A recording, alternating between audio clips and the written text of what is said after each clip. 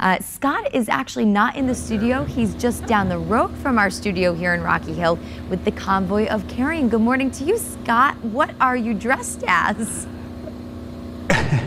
I'm a carrot. You're a um, carrot. I'm, I'm a carrot. And my No, eyes Nicole. are bad.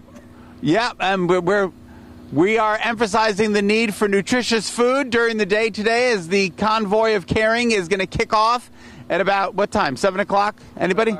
Seven o'clock. Eight forty-five. All right.